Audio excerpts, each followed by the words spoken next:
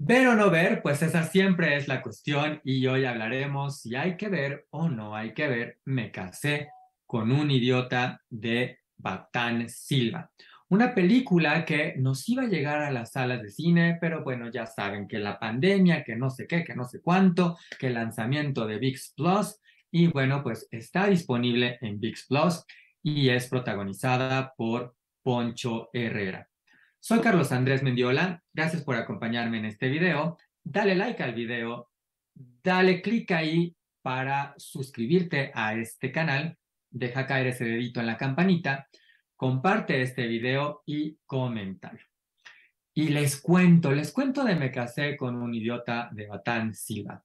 La verdad tengo que decirles que yo dije, bueno, voy a ver esta película, pues ya tengo VIX no se veía tan mal, otra comedia romántica mexicana, de esas que ya luego uno dice, pues otra de las que no pedimos, pero a ver cómo están. Y además ya saben que recientemente hemos estado viendo cine mexicano que ha estado como para pedirle perdón que tuvimos ¿Qué culpa tiene Karma? Doblemente embarazada 2, Mi Reyes contra Godines el retiro. No, no, no. Cada cosa una peor que la otra y que de veras terribles. Así que bueno, yo llegué con pocas expectativas a Me casé con un idiota. Tengo que decirles que muy rápido comencé a darme cuenta que esta era una comedia romántica que se escapaba, que se salvaba de estos lugares, eh, bueno, no necesariamente de los lugares comunes, pero de estos errores terribles de las comedias románticas mexicanas, ¿no? Eh, y la verdad es que yo le encuentro bastantes, bastantes virtudes. Eh, para mí es una de las mejores comedias románticas mexicanas de los últimos años. No quiero decir con esto que sea la comedia romántica de los últimos años, tampoco, tampoco vamos a exagerar, pero es una comedia romántica muy bien hecha. Y miren que sé de lo que les estoy hablando, no es tema de este video, pero yo me he dedicado a estudiar las comedias románticas. Si quieren que les hable un día de, pues, qué caracteriza las comedias románticas, cuáles son los tipos de comedias románticas, cuáles son sus sellos y demás elementos, ustedes pídanlo, que yo con mucho gusto les puedo hablar de comedias románticas porque eh, he escrito de comedias románticas. Yo aquí ya contándoles otras cosas diferentes de este canal, pero no están ustedes para saber, yo sí para contarles que hasta capítulos de libros he escrito sobre comedias románticas. Así que créanme, créanme que sé, sé de este tema. Pero bueno, les cuento, creo que lo primero que hay que mencionar es al director de Me casé con un idiota. Fue de lo primero que yo dije, bueno, ¿quién está haciendo esta película que va por muy buen camino y que siguió por muy buen camino? Bueno, pues este director, la verdad es que tiene una trayectoria bastante, bastante interesante. En el cine mexicano, él hizo El viaje de la nona, que es una drama, con algunos toques de comedia, que fue bastante bien recibido hace ya bastantitos años, más de una década seguro. Y en años más recientes, Batán ha estado participando en títulos nacionales, estuvo dirigiendo la serie Diablo Guardián, que también tuvo buenas críticas, pero sobre todo ha estado trabajando de manera internacional. Eh, fue uno de los directores de La Reina del Sur, pero noten en dónde ha estado ha dirigido episodios de La Ley y el Orden, Unidad de Víctimas Especiales. También ha dirigido episodios de la muy exitosa, muy popular y también reconocida serie The Boys de Prime Video. Y también la serie The Sinner, sobre todo la, la tercera temporada con Matt Bomer. O sea, series de bastante, bastante buen prestigio, que no necesariamente nos daban indicios de que este director pudiera hacer una comedia romántica. Sin embargo, sí nos dan indicios de que sabe, ha manejado varios géneros y de que sabe muy bien del lenguaje audiovisual y esto se muestra en esta película. ¿De qué trata? Me casé con un idiota. Bueno, pues la protagonista es Flor Peñalosa, interpretada por Paulina Gaitán, una actriz que curiosamente hemos visto más en dramas. Eh, pero bueno, Flor Peñalosa es una estandopera eh, bastante simpática. De hecho, empezamos viéndola haciendo stand-up. Y ella es novia de un director que está casado. Eh, algo que me gusta es que esta película no se anda como con dobles morales, ni mucho menos. Entonces nos dice tal cual, ella sabe que es la amante, sabe que él está casado, no está esperando que él se divorcie, la película no se detiene mayor cuestión hablar sobre ella. Este director, que es interpretado por Guillermo Murray, pues le dice que quiere que ella sea la protagonista de su nueva película, eh, pues ya saben, porque es el director y, y porque puede, ¿no? Aunque ella no tenga mayor experiencia para actuar. Total que ella dice, bueno, pues lo voy a hacer. Va a compartir créditos con Iñaki Peñalosa. Iñaki Peñalosa es el personaje de Poncho Herrera, de Alfonso Herrera, este actor que surge de Rebelde y que ha hecho ya mucho cine, muchas series y demás. Bueno, pues Iñaki Peñalosa resulta que es un actor muy famoso. Digamos que es algo así como, pues quizás como Diego Luna podría ser, más, más o menos, más o menos, o sea, tampoco es, es un actor que empezó desde muy jovencito, que es muy recordado por haber hecho un bailecito, eh, este famoso de qué bonito soy, qué lindo soy, cómo me quiero, bueno, pues así.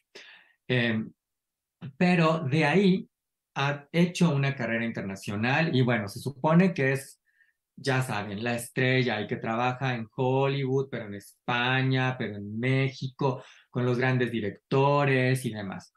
Un poco porque sí y otro poco porque le echa crema a sus tacos, ¿no? Bueno, total que empiezan a grabar, eh, a filmar, mejor dicho, esta película y la interacción entre Flor e Iñaki pues empieza a generar una cierta química entre ellos y más rápido que tarde ya se están enamorando, ya anuncian su noviazgo y ya se están casando.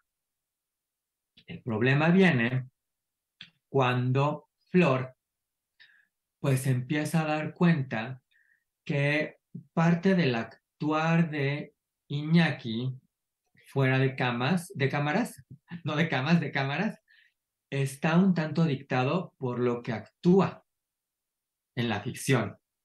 Y entonces ella dice que se casó con un idiota porque este hombre, pues todo el tiempo está fingiendo y no necesariamente siempre es él.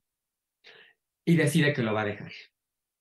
Iñaki se da cuenta y no quiere que eso suceda, así que va a buscar eh, conquistarla y conservar esta relación. Ya está. esa es la premisa. Yo, ya les conté aquí un poquito más, eh, pues echándole un poco de crema a esta eh, sinopsis. Bueno, déjenme decirles que está muy bien contada. Eh, es una comedia romántica con todas las de la ley, o sea, tiene estos elementos muy, muy bien determinados. ¿Por qué funciona mejor que otras comedias románticas? ¿Por qué les digo que es de lo mejor que se van a encontrar en este género? Bueno, varias razones. Primera, y una de las que más le falla a las, a las otras comedias románticas, y digo, por mencionarles algunas de las que, además de las otras, bueno, pues cómo cortar a tu patán, plan B, loco por ti, como si fuera la primera vez, eh, qué culpa tiene el karma, entre otras y otras y otras. Bueno, esta sí tiene bien el tono esta película no está tratando de ser chistosa. Es chistosa. No se esfuerza de más. No están forzados los chistes ni las situaciones.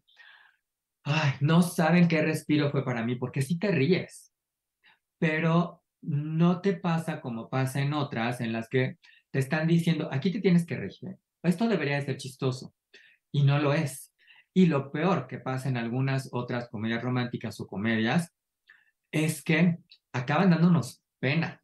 ¿no? O sea, yo de repente he visto unas cosas que digo, Ay, pero ¿por qué este actor se permitió hacer esto? Si este actor, a lo mejor no es este Meryl, este actor, esta actriz no son Meryl Streep, pero ¿por qué hacen esto? O sea, están haciendo el ridículo. A mí me da, yo, yo mismo digo, híjole, qué, qué, qué oso, qué, qué pena para la carrera de este actor. Bueno, eso afortunadamente no pasa aquí. Gracias al cielo.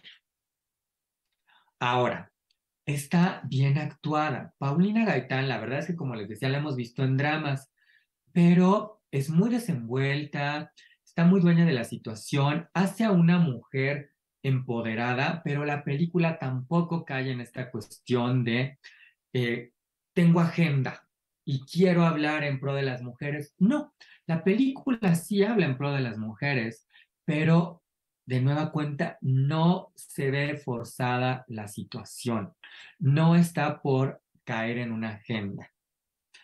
Eh, es muy angelada Paulina Gaitán, la verdad, luce mucho en pantalla, tiene buena química con Alfonso Herrera y bueno, Alfonso Herrera aquí está encantador.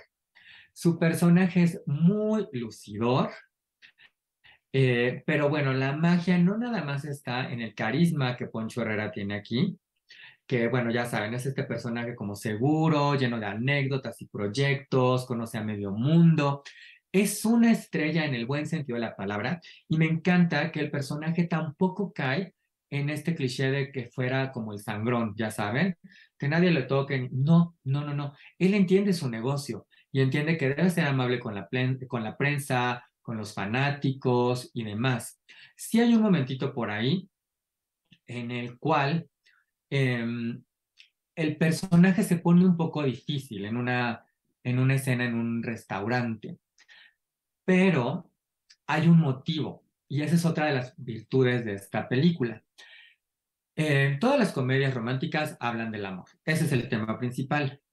Ahorita hablo más de ese tema, pero esta aprovecha también para hablar del mundo del espectáculo, para burlarse de ciertas situaciones.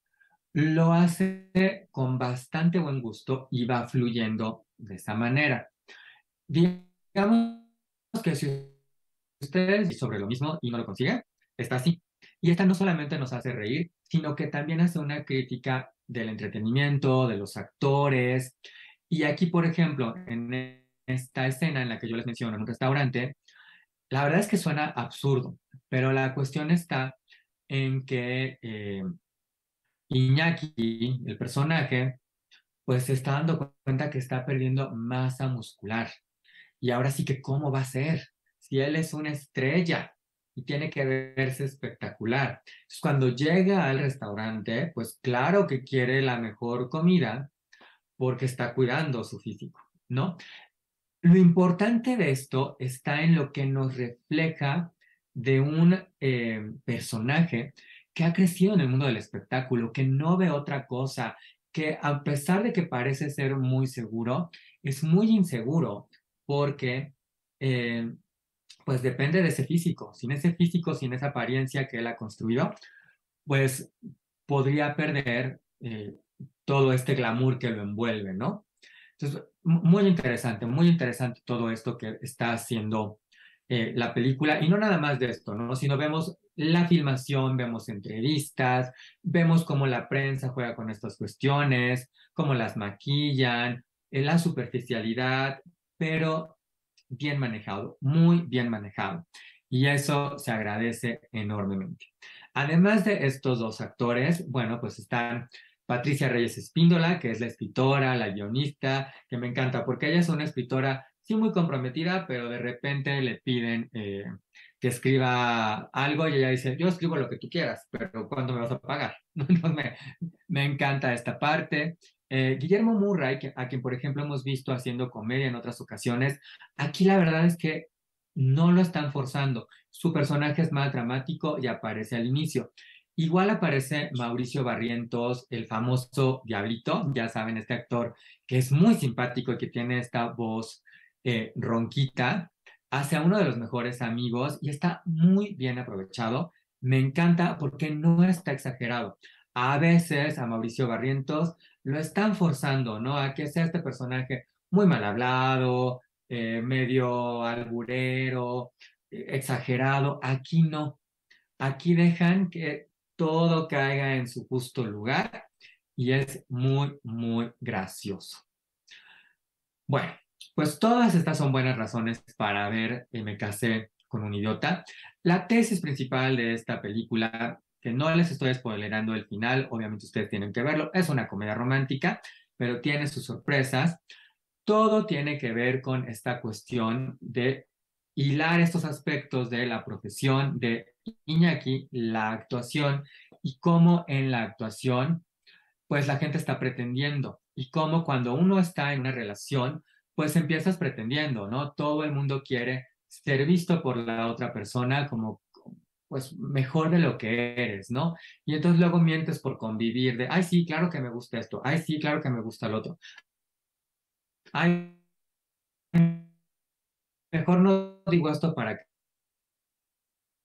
Es que la película tampoco tiene esta agenda de, tenemos que ser súper honestos, porque es realista en el sentido de decir, el amor también es un acto de complacer a la otra persona en el buen sentido de la palabra. La película no pretende que te conviertas en alguien más, pero entiende que en esta convivencia del amor, pues se tienen que ceder ciertas cuestiones, ¿no? Entonces me parece que lo hace muy bien. Eh, y en este camino de hacerlo, pues nos propone o nos da esta postura sobre el amor, pero también celebra el cine, celebra las comedias románticas, eh, y es una muy buena muestra de que una buena comedia romántica no tiene que esforzarse en ser chistosa, no tiene que esforzarse en estar subida de tono, ni mucho menos, simplemente es, sigue bien los preceptos del género y eso lo disfruta uno muchísimo.